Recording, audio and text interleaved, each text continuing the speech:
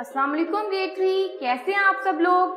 मैं आप लोगों की इस्लामियात की teacher silk school of tomorrow city campus बलवान। प्यारे बच्चों, आज हम लोग सबक नंबर दो, वज़ू स्टार्ट करने जा रहे हैं और लेक्चर नंबर फाइव यहाँ देखिए, मेरे पास आप लोगों के लिए कुछ पिक्चर्स हैं और इन पिक्चर्स के, इन तस्वीरों के ज़रिए मैं आप लोगों को वज़ू का तरीका समझाने जा रही हूँ। तो बच्चे वज़ू करने से पहले क्या पढ़ना चाहिए? हम्म वेरी गुड वज़ू करने से पहले बिस्मिल्लाह पढ़नी चाहिए। बिस्मिल्लाह रहमान पढ़ रहीम पढ़ के आप लोग सबसे पहले तीन बार अपने हाथों को धोएँगे उसके बाद आप लोग तीन बार कुली करेंगे। प्यारे बच्चों, आप गौर से सुनेंगे और इसकी घर में प्रैक्टिस करेंगे। उसके बाद आप लोग तीन बार नाक में पानी डालेंगे। उसके बाद आप लोग तीन बार अपने मुँह को अच्छी तरह से धोएँगे और पेशानी से ठोड़ी तक और दाएँ कान से बाएँ कान तक मुँह को अच्छी तरह से धोएँगे ताकि कोई भी हिस्सा खुश्क ना रहे। उसके बाद आप लोग अपने हाथों को तीन बार अच्छी तरह से धोएँगे।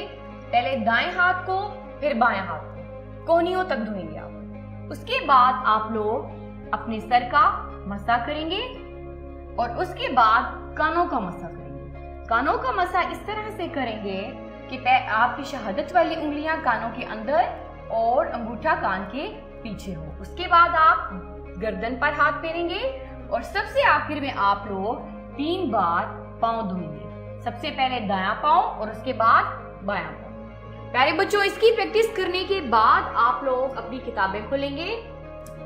सबसे पहले डेट और डे लिखने के बाद आप लोग मुश्किल अल्फाज को साथ साथ अंडरलाइन करेंगे।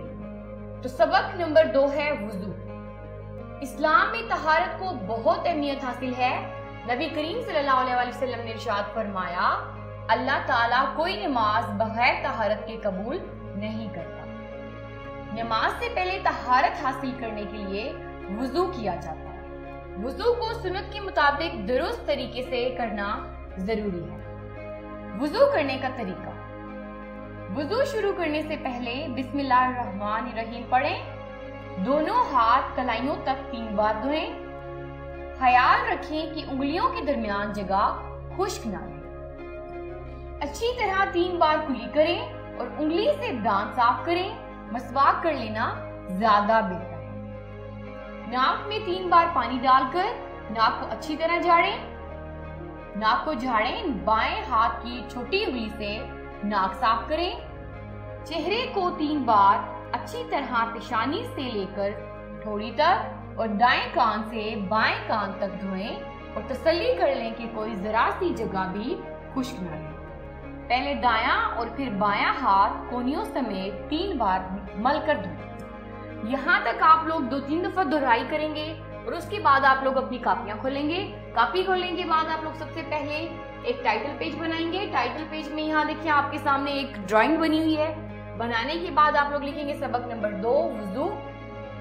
और उसके बाद अगले पेज पे जाकर आप पहले दिन लिखेंगे, तारीख लिखेंगे, घर के काम को टिक करेंगे और उन्मान होगा वज़ू। सवाल नंबर एक है, क्या बगैर वज़ू के नमाज़ पढ़ी जा सकती है? तो जवाब है जी नहीं वज़ू के बगैर नमाज़ नहीं पढ़ी जा सवाल नंबर दो है वज़ू करते वक्त अगर थोड़ी सी जगह खुश्क रह जाए तो क्या वज़ू हो जाता है? तो प्यारे बच्चों क्या वज़ू हो जाता है? हम्म, हम्म बिल्कुल भी नहीं। इसका जवाब है जी नहीं वज़ू नहीं होता प्यारे बच्चों आज आप लोग इस काम को नोटबुक में लिखने के बाद रफ रजिस्टर पर प्रैक्टिस करेंगे। और मैंने आप लोगों को बोला कि आप लोग वज़ू की प्रैक्टिस करेंगे तो आप लोगों ने आज वज़ू की प्रैक्टिस ज़रूर करनी है और कल मैं आप लोगों से इसके बारे में पूछूँगी। तो अल्लाह हाफिज स्टूडेंट इनशाला कल मिलेंगे।